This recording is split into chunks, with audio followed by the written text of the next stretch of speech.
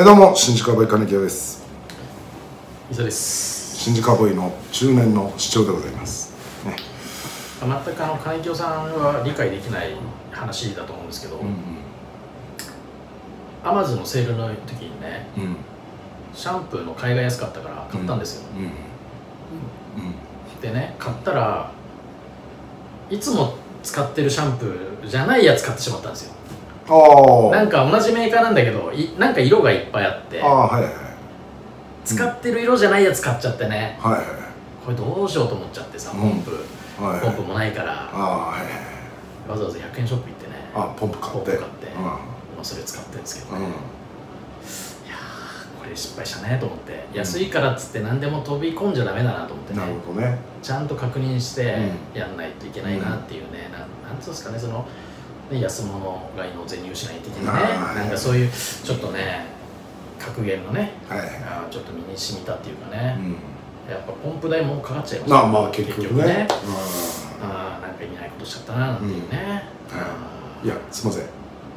私もシャンプー使うんで関係ある話ではありますよ。ーシャンプー使うんですか？使いますよそれは。ずっと使ってますよシャンプーは。えリンスなんか使わないでしょ？マリンさんも使ってないです。ずっとサクセスでやらせてもらってます。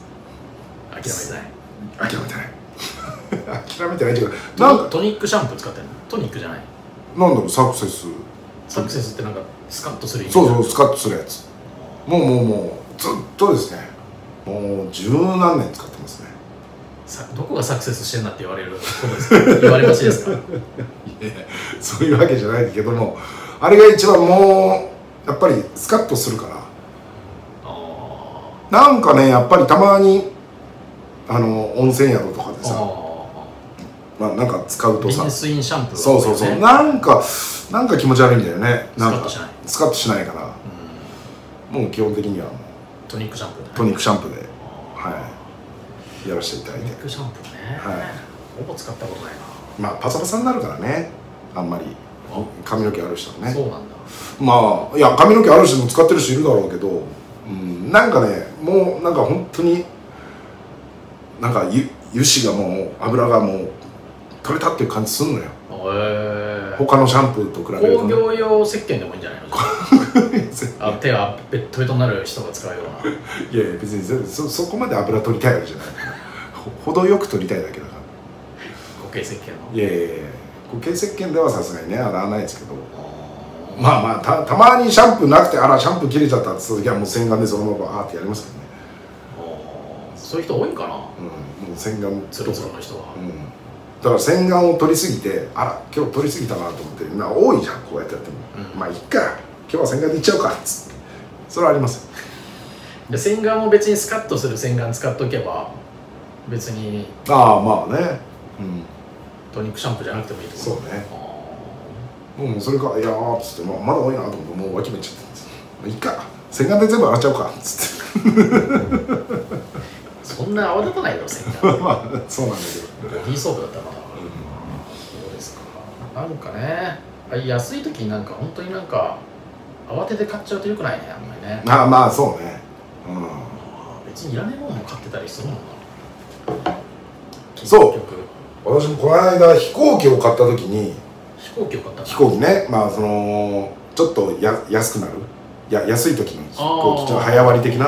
うわああき今日までだなと思って。あ慌てて電車乗りながら慌ててわーって探してたら結局一日日付間違えて買っちゃって。ううわ間違えた！と思って。でもうすぐキャンセルして。でもまあそれはよかった。キャンセル料はかかんない。キャンセルまあ何百円かはかかるけど取り消し手数料。あこれ気づいてなくてしばらくしてからああ日にち間違えてんじゃんってやったら多分半分ぐらいは取られちゃって、持ってないぞ。持ってからあ危ないな。と慌てて買うとね。そうそうそうそうそう。当てて。ちゃんと買わないとそういうのがね。そうなんだよね。うん。それがもうアマゾンのセールも。そうそう終わるなんか直前に買っ慌ててポチったから。ああそうそうそう。あ今日はなんかポイントがね。ーあーそうね。何倍でとかねああ今日買わないとと思ったらね。別にそんな普段気にしてないのにね。そういうのに限って。そうそうそうそうそうそあれですからね、完全に真っ暗になるう ちょっと画面が暗画くなる。面がね画面がね。さっきまで早くね、インタビュースペース来ないと分からなくなる、そうね。いやーそうそうそう慌てるとね。そうなんですよ。ねなんかあのメールとかさやり取りしててもさなんか慌てて送ってるとさなんなんなんだろうな慌てて送る文章作ってね分かってやってたらなんか送んないと早く送んないとっていうのがあるから、あのなんか勢いで送信ボタン押しちゃったりしてあままだ文章途中なのにとかね。おで、まあ、で結果もう一回「すいません先ほどちょっと途中で送信してしまいました」とかまた文言書いてさ結果時間かかっちゃうねあ慌てるのは。ね本当に。ちゃんとしっかりね。慌ててないですか皆さん。え。ーねねじゃあ今日はこの辺ですかね。そうですね。えー。この辺で。終わりましょう。終わりましょう。はい。ありがとうございました。ありがとうございました